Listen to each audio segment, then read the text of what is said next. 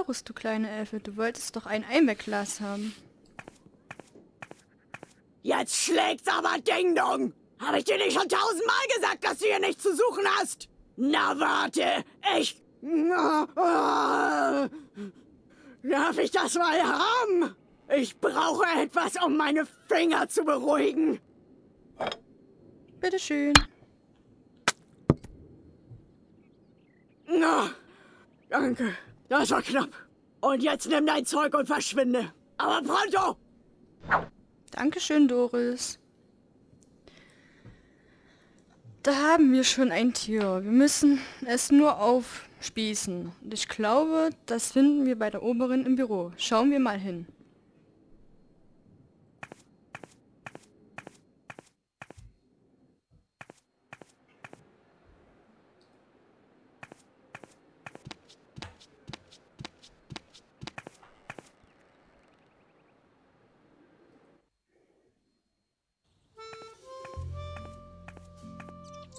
Na toll, jetzt bin ich schon noch verkehrt gelaufen.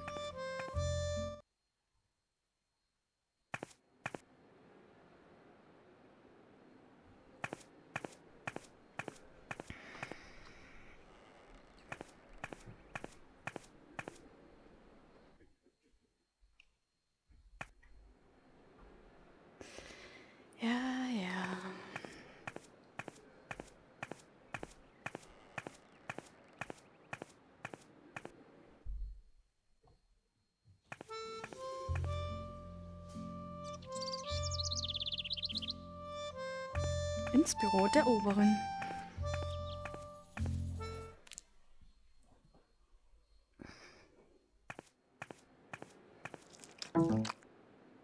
Sag ich doch.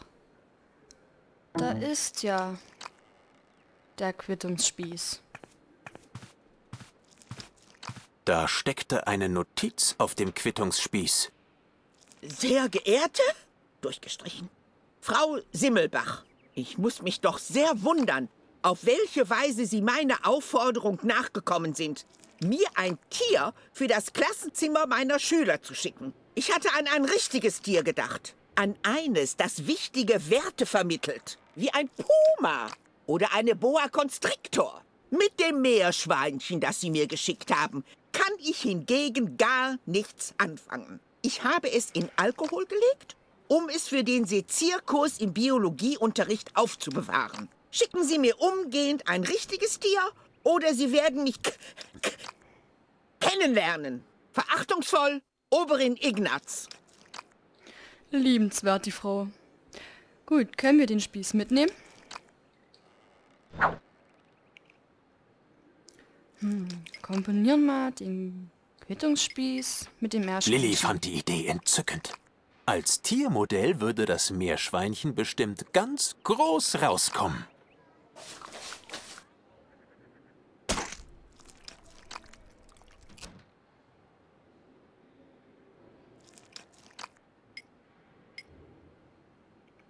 Gehen wir mal zu Birgit.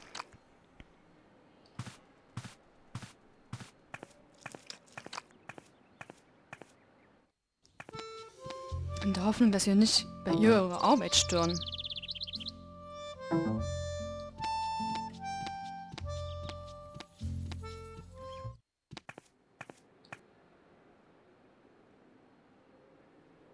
Können wir hier noch irgendwas mitnehmen? Die Maske war fest an der Wand verschraubt. Aber hieß das auch, dass man sie nicht mitnehmen durfte? Nein, das heißt nur, dass du das richtige Werkzeug finden musst. Irgendetwas, das klein genug ist, um die Schrauben zu lösen. Na, so ein Glück! Lilly war erleichtert. Okay, die Stimmen machen mich Angst. Die Maske war fest an der Wand verschraubt. Aber hieß das auch, dass man sie nicht mitnehmen durfte? Nein, das heißt nur, dass du das richtige Werkzeug finden musst. Irgendetwas, das klein genug ist, um die Schrauben zu lösen. Na, so ein Glück! Lilly war erleichtert.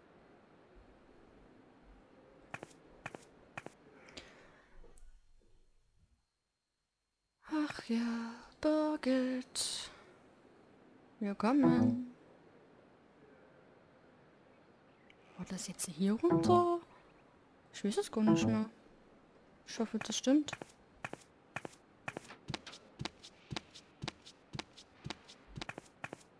Ich kann mir den Weg nicht so wirklich merken. Aber ich denke mal schon, dass es der Weg ist. Nee, ist es nicht. Ah, nicht so laut.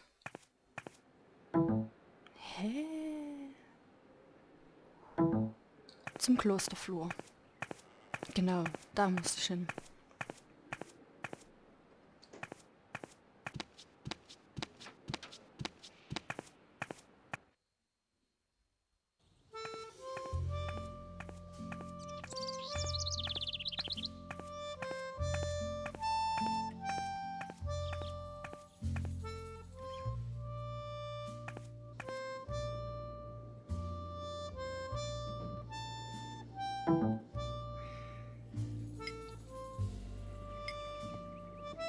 Bitte schön, Birgit. Das ist zumindest ein reguläres Tiermotiv. Aber meinst du, dass es auch wirklich wichtige Werte vermittelt? Natürlich tat es das. Meerschweinchen waren niedlich und klein und trotzdem immer fröhlich. Lilly versuchte immer, sich ein Beispiel an ihnen zu nehmen. Na, wenn du meinst. Komm in ein paar Minuten wieder. Sofern du mich nicht störst, werde ich auch nicht lange brauchen. Ja, ich gehe ja schon.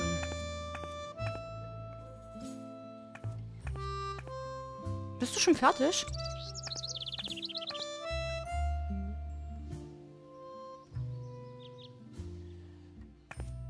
Ja. Können wir das, den Banner mitnehmen?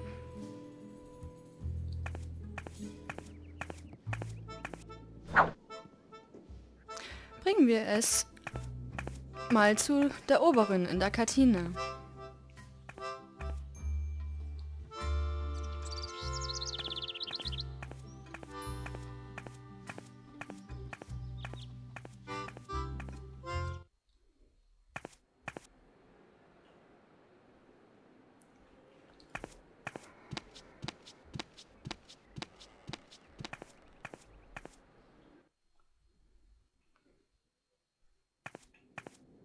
Lasst euch nicht stören.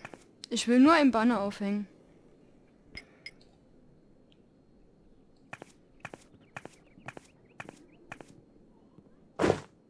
Ah, endlich hat Birgit das neue Banner fertig. Aber was ist denn das? Ein k k kleines, dreckiges Meerschweinchen? Das ist doch nicht wirklich von Birgit. Oder etwa doch? Aha. Das sein. Kann man sich denn hier auf niemanden verlassen? Na, warte. Die kann aber was erleben. So schlecht sieht das auch nicht aus. Mecker nicht rum. Dieses Banner war eine Schande. Weg damit! Naja, da gehen wir mal die Oberin hinterher zu Birgit.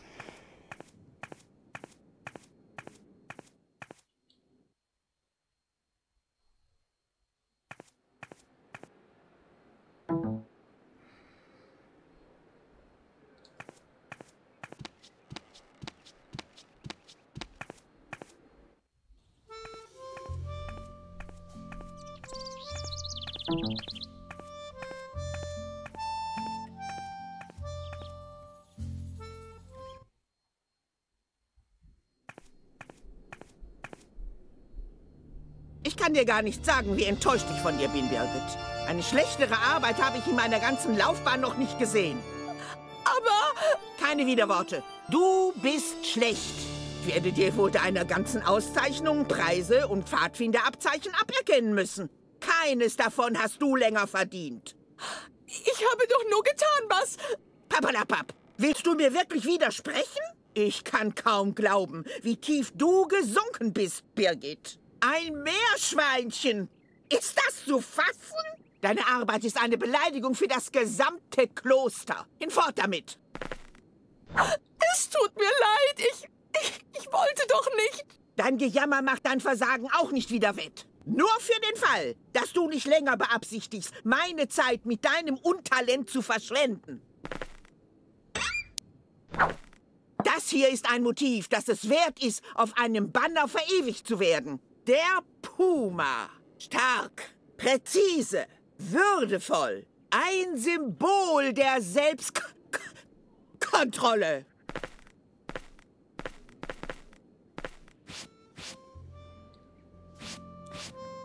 Ja, dann gucken wir mal, ob wir jetzt was mitnehmen können.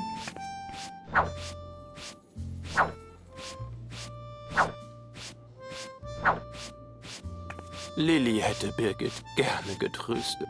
Andererseits hatte sie sich den Ärger auch selbst zuzuschreiben. Lilly hoffte für Birgit, dass sie sich bei dem Puma-Motiv etwas mehr Mühe gab. So, wir haben immer noch das Rätsel von den Opa. Wir haben ja schon die Tiere und das Obst. Wir brauchen nur noch die Emotionen.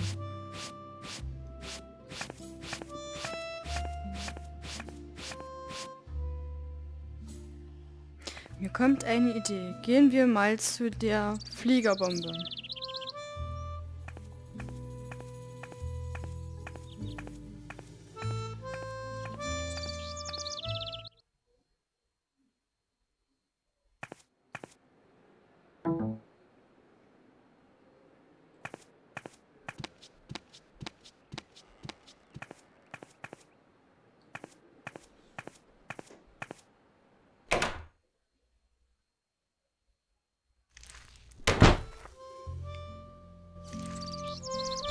Shawnee. Mit denen sprechen wir später.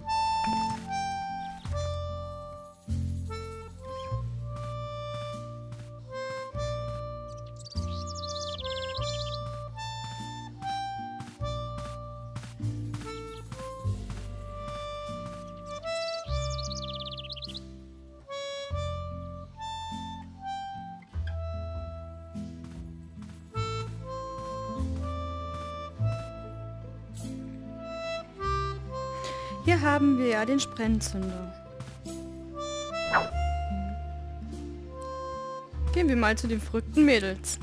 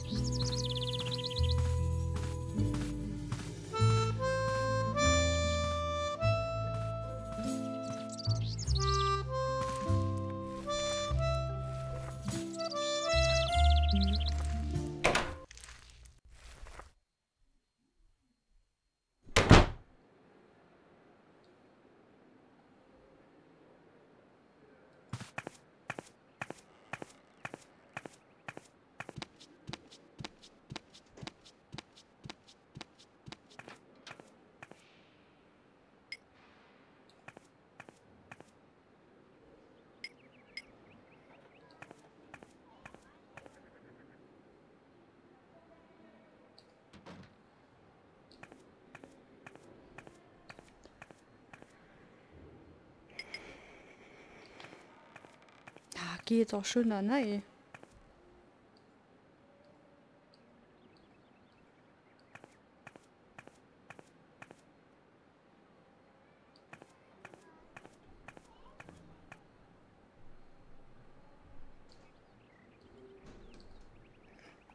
Geh da rein.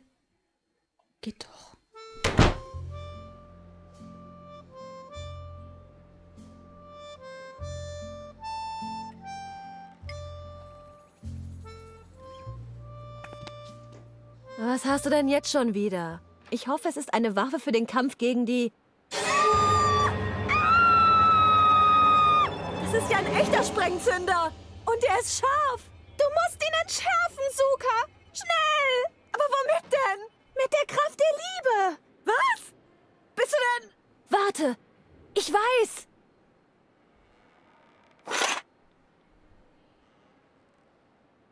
Uff, das war knapp. Das petzen wir der Oberin. Genau. Diesmal bist du wirklich zu weit gegangen, Lilly. Was geht bloß in deinem Kopf vor? Ah, Du bist viel behämmerter, als ich dachte. Voll ungumbo. Jetzt steht er doch nicht so rum. Schaff uns endlich diese Bombe vom Hals. Bring sie irgendwo hin, wo sie keinen Schaden anrichten kann. An einen bombensicheren Ort.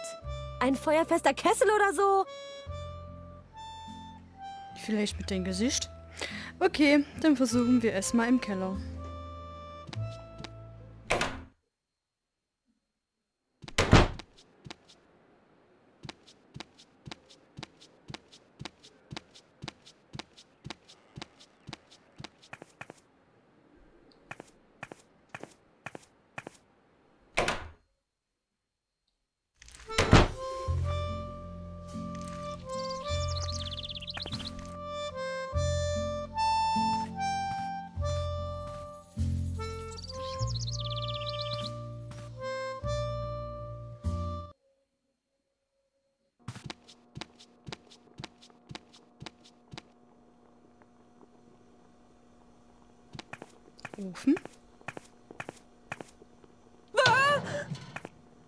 Wer versteckt sich denn da? Hallo? Schnell! Mach die Tür wieder zu, bevor mir noch jemand sieht. Das hier ist der letzte sichere Ort im ganzen Kloster. Und ich möchte, dass das auch so bleibt. Reden wir mal über Gefahr. Du brauchst gar nicht versuchen, mich umzustimmen. Ich bleibe hier. Da draußen ist das viel zu gefährlich. Lilly hatte keine Ahnung, wovon Memphis da sprach. Aber er war auch schon immer sehr schreckhaft gewesen. Aber psst, sonst hört dich noch jemand. Und dann nehmen sie mir mein Versteck weg. Und wenn sie mir mein Versteck wegnehmen, dann bin ich mit Sicherheit der Nächste. Der Ofen ist nämlich der sicherste Ort hier im ganzen Kloster. Weißt du? Er hat einen Kruppstahlmantel, Titanium verstärkte Innenwände und der Innenraum ist mit Blei ausgegossen. Hier drin würde ich sogar einen Bombeneinschlag überleben. Ach so. Reden wir mal über das Rezept. Ähm, Verschwinde endlich, bevor mich noch jemand entdeckt. Wenn du nach deinem Rezept suchst, dann sprich mit Shawnee. Er hat es eingesteckt. Lass uns singen. lalalala, Der Untergang ist nah. lalalala. Verdammt bin ich, verdammt bist du. Du, dippidau, Apokalypse now. lalalala. Der Untergang ist nah. Okay.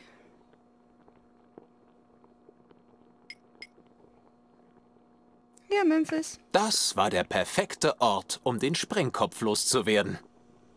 Was ist das? Was hast du da? Endlich konnte Lilly die Haarspange nehmen. Muss das so blinken? Ja. Lilly schloss die Tür wieder, damit niemand Memphis Versteck fand. Ähm, Lilly? Lilly? Irgendetwas schien heute mit Lillys Ohren nicht zu stimmen. Andauernd hörte sie irgendwelche Geräusche. Oh,